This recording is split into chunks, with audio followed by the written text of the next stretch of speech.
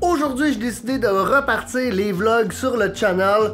On va être de plus en plus performant durant le fin de l'année 2020. Mon but, c'est d'avoir le plus possible de commentaires, d'actions sur la chaîne, d'abonnés, pour vous permettre de plus me connaître évidemment, mais aussi pour mieux prouver certaines choses.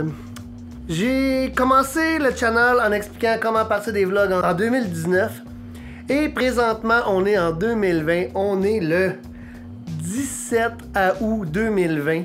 J'ai fait trois vidéos, j'ai environ une centaine d'abonnés sur ma chaîne présentement. Si vous ne me connaissez pas, j'ai aussi une autre chaîne qui s'appelle Le Brasseur. Et cette chaîne-là roule relativement bien pour le milieu que je suis. Je parle de bière, de fabrication de bière, comment faire sa bière maison. Et j'avais d'autres projets vidéo, d'autres choses que j'aimais bien faire, dont les vlogs. Et je voulais vous présenter cette nouvelle chaîne qui est Fitz. Fitz, c'est quoi? C'est moi l'entrepreneur, mes passions, qu'est-ce que j'aime faire dans la vie. Puis on se le cachera pas, quand on devient une personne qui fait des vidéos sur YouTube, on peut appeler ça un YouTuber. Ben, on écoute d'autres vidéos, on regarde ce que les autres font. Des fois c'est intéressant, des fois un petit peu moins, je dois vous l'avouer. Et tout le monde tient à dire qu'il faut son niche, son créneau pour partir une chaîne YouTube. Alors, dans ces vidéos-là, ça va être principalement des vlogs. Je vais vous expliquer c'est quoi être entrepreneur. Je vais essayer de vous faire au moins une vidéo par semaine minimum sans délaisser mon autre chaîne. Et qu'est-ce qu'il faut savoir? C'est que je travaille environ 90 heures semaine. Et que je vais être capable de toffer la run et de voir en 2021, le 1er janvier 2021, à combien d'abonnés on est rendu. On va voir ça ensemble.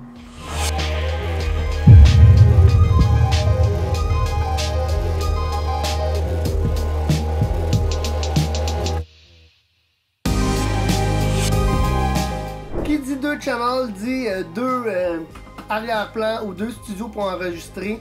Dans les vlogs, vous allez me voir parfois ici, parfois vous allez me voir me promener, des fois ça va être à ma boutique. Si je veux faire des vlogs le plus souvent possible, on va, on va être obligé d'avoir plusieurs décors et plusieurs places pour filmer. Je me lance un petit défi personnel, comme je vous disais tantôt, de pouvoir faire un vlog une fois par semaine minimum.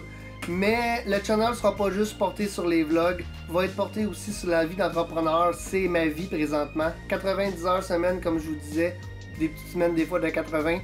Et je me mets un nouveau défi de vous de relancer mon channel Fit qui me tenait vraiment à cœur, vous présenter d'autres choses que juste de la bière. Comme vous pouvez voir en arrière, j'adore l'alcool, j'adore les de goûter différents alcools. Et j'en ai d'autres évidemment en haut et dans d'autres euh, d'autres raccoins.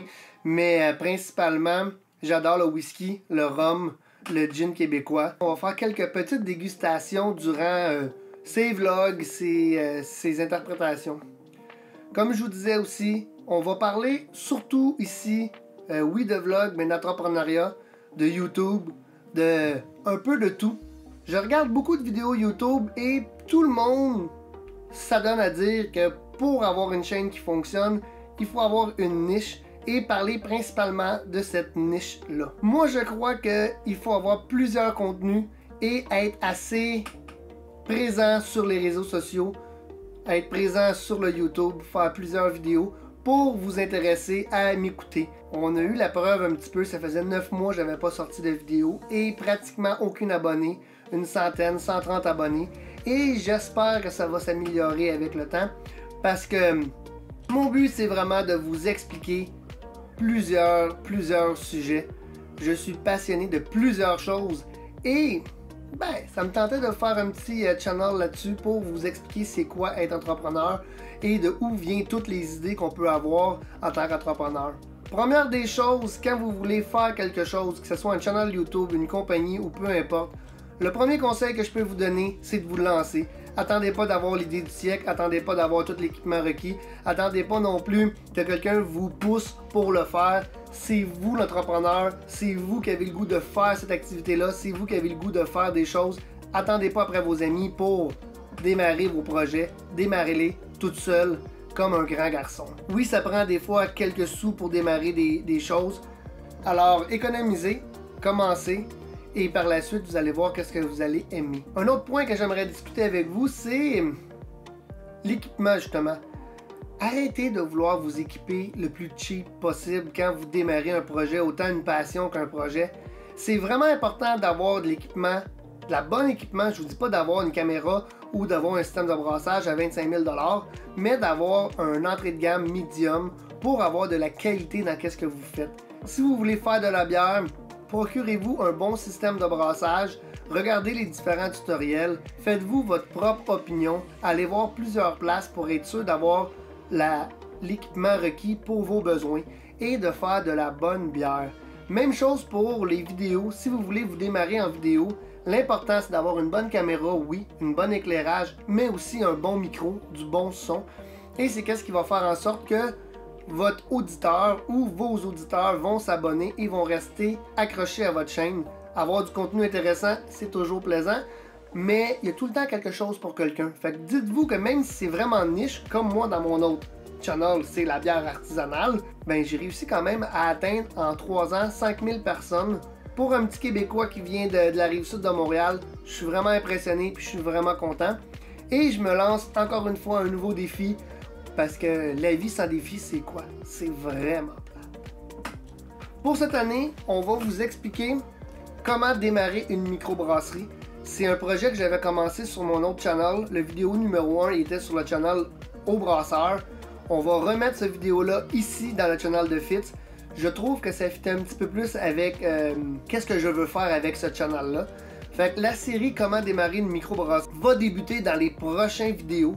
Et je veux vraiment vous expliquer de A à Z comment démarrer votre propre microbrasserie. Que vous soyez au Québec, que vous soyez euh, en Europe, que vous soyez euh, en Afrique, en Russie, ça change pas grand chose à part les lois qui sont disponibles, mais vous avez besoin de vous créer un petit plan d'affaires. Et dans ces tutoriels-là, je vais vous expliquer comment bien préparer son environnement pour démarrer une microbrasserie en passant par la recherche de local, la recherche d'équipement, qu'est-ce que vous voulez faire en fin de compte, c'est quelle sorte de microbrasserie vous voulez faire?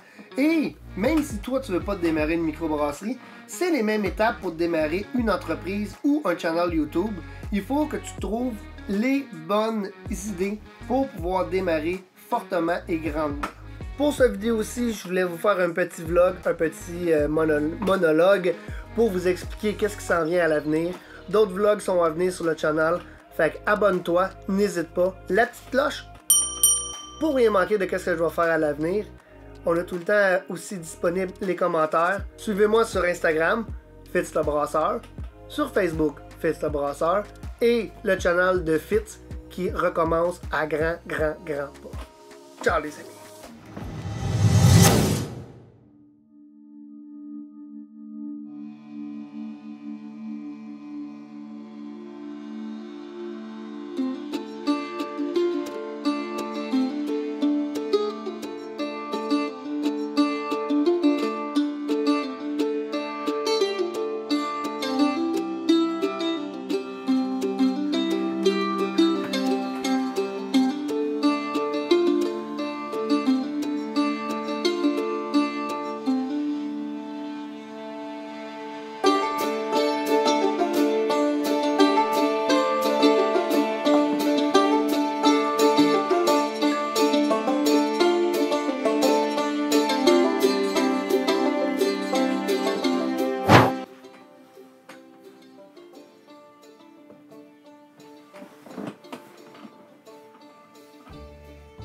Santé tout le monde!